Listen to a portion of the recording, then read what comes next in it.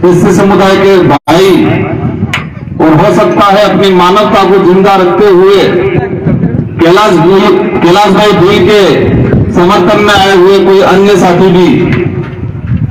ये एक आज जो कार्यक्रम हो रहा है, ये कार्यक्रम एक दुख की घड़ी में उस भाई के न्याय को लेके और न्याय को लेकर समाज से तब उतरता है जब हमारे देश के अंदर का जो संविधान है और संविधान में जो न्याय व्यवस्था है, कानून व्यवस्था है, और जब ये न्याय व्यवस्था और कानून व्यवस्था उस पर राजनेताओं द्वारा कंट्रोल हो जाता है और किसी व्यक्ति को न्याय नहीं मिलता है, तब हमारा समाज आके खड़ा रहता है। तो आज इस जगह पे इस इलाके में कैलाश भाई की मृत्यु हुई और यहाँ के पुलिस प्रशासन ने, यहाँ के जो शासन है, उन लोगों ने इस भाई के मर्डर को दबाने का काम किया। और ऐसे कितने हादसे हुए होंगे, ऐसे कितने मामले हुए होंगे जो आज तक दब गए हमारे सामने भी नहीं आए। मैं इस मंच से उन गणवीरों को धन्यवाद देना चाहूँगा। इस भाई का जो मर्डर हुआ, उसको आप सामने लाए और समाज को बताया, अन्याय हो रहा आपको आने की ज़रूरत है। आह्वान करने वाले साथियों को धन्यवाद देना चाहूँगा घटना हुई, मैंने भी जानकारी ली। 16 फरवरी 16 फरवरी को इस भाई में काम करने गया था, उस दिन उसका मर्डर हुआ। 17 तारीख को एक रिपोर्ट दर्ज होती है, और इस रिपोर्ट में परिजनों को पहला फुसला के किया कहा जाता है कि आपको एक दो लाख रुपए दे देंगे, जैसे कि उनके जेब से दे रहे और कह दिया, मैंने उस एफआईआर की कॉपी को पढ़ा। करंट लगने से मौत हो गई। समाज के अंदर जो गंभीर अपनी जान हथेली में लेके खेलने वाले साथी, जो समाज के साथ कहीं पर भी अन्याय हो रहा आके खड़े रहने वाले साथियों ने उसको उजागर किया और प्रशासन पे थोड़ा बहुत दबाव बनाया और प्रशासन 23 तारीख को तीन सौ दो में मुकदमा चिंता मत करो। ये ये जो घटनाक्रम हुआ, ऐसे अनेकों घटनाक्रम हुए हैं। आज मेरा परिचय पूर्व संचालक महोदय ने बता दिया। हमारे कांति में उधर प्रतापगढ़ माघीलाल जी, हम लोगों को हम लोगों को आने की क्यों ज़रूरत पड़ी? हमें यहाँ पर क्यों आना पड़ा? हमें इसलिए आना पड़ा, इस राजस्थान के अंदर, मध्य प्रदेश के अंदर, हमारे भीम समूह के लोगों के साथ अन्याय हो रहा है और ये आज नहीं, पहले से हो तरफ़ इसकी चोटें आई हुई है। करंट से चोटें नहीं आती है। डॉक्टर साहब का कई वीडियो आ रहा बता रहे कि मारने से इसकी मृत्यु हुई है। यह हमारे अस्तित्व की बात है।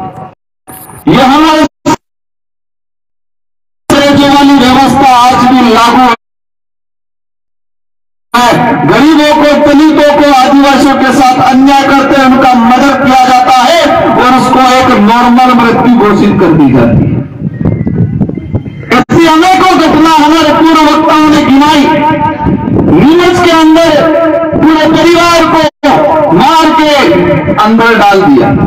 दो दिन पहले यहाँ पर उदयपुर के पास लगभग ये गोगुंदा के अंदर, एक छोटी मावली के अंदर छोटी बच्ची को साथ बलात्कार करके उसके दस टुकड़े करके उसको डाल दिया।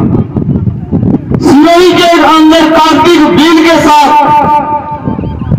सड़क पे रोक के इसको मारा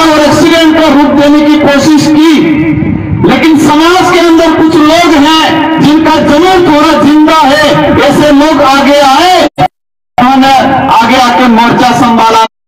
हम जैसों को बुलाया, और आज कहीं कहीं तीन सौ दो में मुकदमा होकर कुछ कार्रवाई हो रही है, लेकिन सरकार के अंदर बैठे हुए लोग,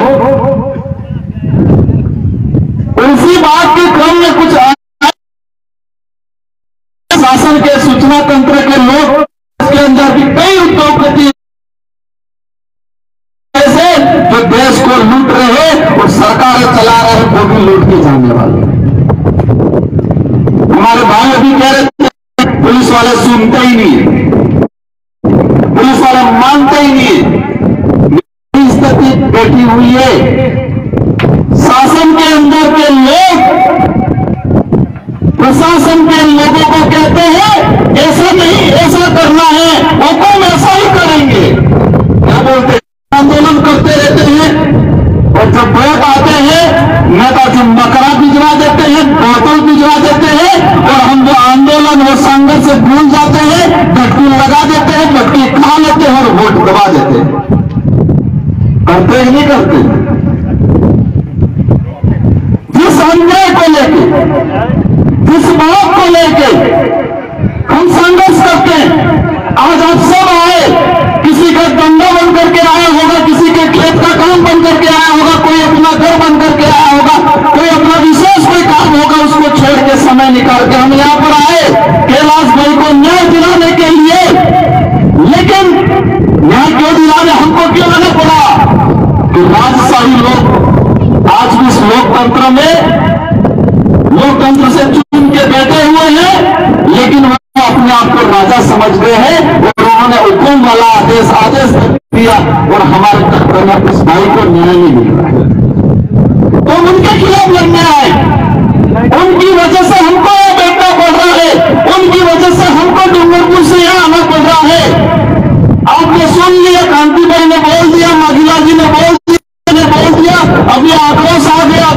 तालियाँ भी बजा दी लेकिन वोट आते ही वो बेच देंगे और आप खा लोगे पी लोगे और वोट दे दोगे इसलिए वो लोग उन लोगों को एहसास है आज पता है क्या हो गए लेकिन ये चुप भी होंगे भारत देश की आज़ादी के बाद पहली बार लोकतंत्र वास्तविक लोकतंत्र स्थापित करके हमारे देशों को चुना और कमल कांग्रेस को साइड करके साइड में रखा और हमको चुन के भेजा मतलब कि कई ऐसे बुद्धिजीवियों संविधान बनाया और संविधान में वोट को हम क्या कहते हैं? लोकतंत्र की चाबी कहते हैं। और हमारी जनता ने इस चाबी को 2018 में ऐसे लगाया कि कई मंत्रियों के ताले जंग खा रहे हैं आज। तो आपको भी इस लोकतंत्र की चाबी का सही उपयोग करना है। यू करके मार दिया जाता है। अरे भाई, हमने इतिहास में पढ़ा और आपने जिन्होंने नहीं पढ़ा होगा, उन्होंने कहा तो मैं सुना होगा। भारत देश के अंदर एकमात्र ऐसा राजा था जिन्होंने मुगलों की अधीनता स्वीकार नहीं की। देश के इतिहास में इसको पढ़ाया जा रहा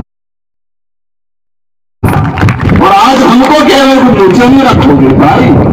तुम्हारी मुझसे, हमारी वजह से आज बड़ी हुई है। प्रताप के भाई थे मान सिंह और मान सिंह किसकी गोद में जाकर बैठा था? अकबर की गोद में जाकर और भविष्य में खत्म हो जाएँगे।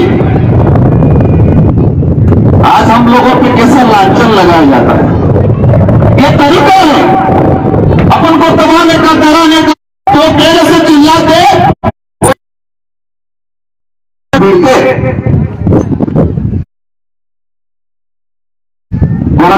मुर्गे आगे सफ़ेद मुर्गे। एक पिंजरे में दस बन है, एक ग्राहक आया और एक को निकाला, दूसरा खाएगा। एक को फिर निकाला, बाकी पीछे बचा, वो भी खाएगा। और लास्ट इसको हो रहा मेरे का पड़ी है इसको अभी भी वक्त है, चिंता मत करो आप। एकजुट हो जाओ। और नहीं तो वो मुर्गे की तरह आसक्ति बारी बारी से नंबर आएगा। हमें किसी से लड़ाई नहीं है, किसी स्वाभिमान के साथ खिलवाड़ करेगा, उसकी टांगे ज़रूर खड़ी करेंगे। आदिवासी समाज इतना स्वाभिमानी, आदिवासी समाज इतना दयालु है। इतिहास उठा के देखो, किसी पन्ने में ये नहीं मिलेगा कि आदिवासी समाज ने किसी गरीब का, किसी कमज़ोर का शोषण किया। किसी कमज़ोर पे अत्याचार किया ये इतिहास के किसी पन्ने पे नहीं मिलेगा।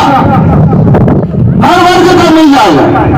गांधी भाई ने बताया, मैंने विधानसभा में क्वेश्चन लगा के निकाला, राजस्थान के अंदर कितने गोलियों के अंदर।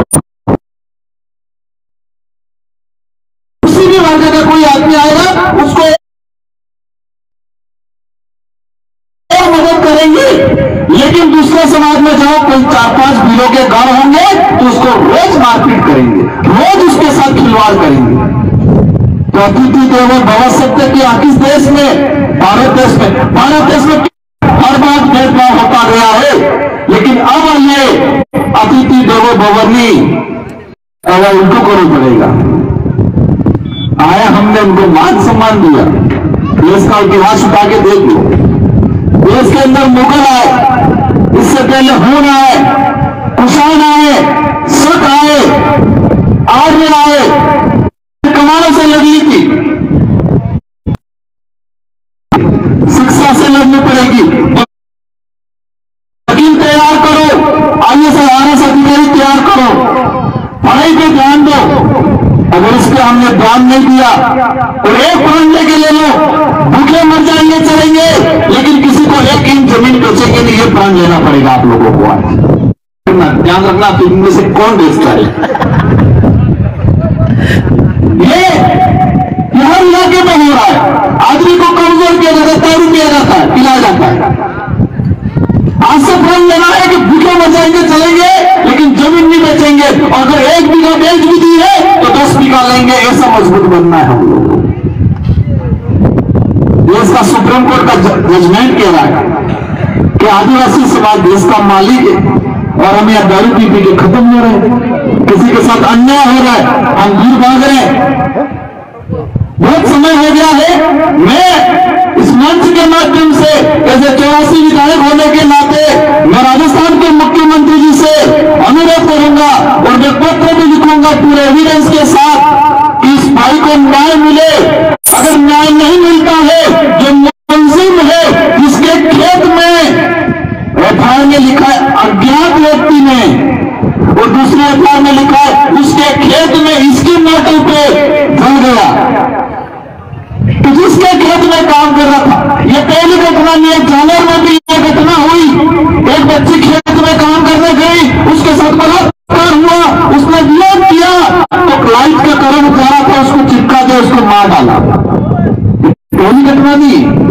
करंट का तो शो करने की राजस्थान के अंदर दो से तीन घटना हुई है मेरी जानकारी में। तो इस भाई को जब तक न्याय नहीं मिलेगा, यह कार्रवाई जारी रहेगा। हम लोग आप जब भी आह्वान करोगे, आएँगे राजस्थान की सरकार को हम अवगत कराएँगे। अगर वह न्याय देती है तो ठीक है। नहीं तो आने वाले समय में एक बहुत बड़ा कारवां